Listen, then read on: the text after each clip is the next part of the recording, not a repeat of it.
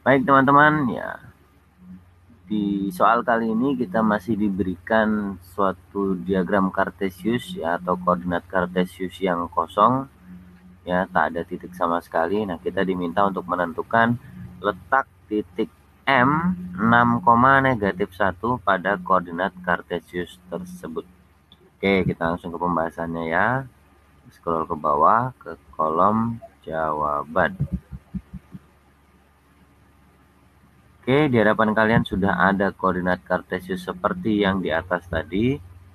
Nah, di sini saya akan menandai dulu ya. Sumbu yang mendatar adalah sumbu X, kemudian sumbu yang vertikal adalah sumbu Y. Sedangkan untuk suatu koordinat, suatu titik, ya koordinat titik, itu merupakan gabungan dari X, Y, di mana yang pertama ini X, dan yang kedua adalah Y. Karena kita diminta mencari 6, negatif 1, 6 ini punyanya X, berarti kita lihat di sumbu X, 6 itu ada di sini, kemudian negatif 1 ada di bagian bawahnya. Ini ya negatif 1. Jadi kita hubungkan 6 dengan negatif 1, ketemulah titik ini. Saya ganti warna.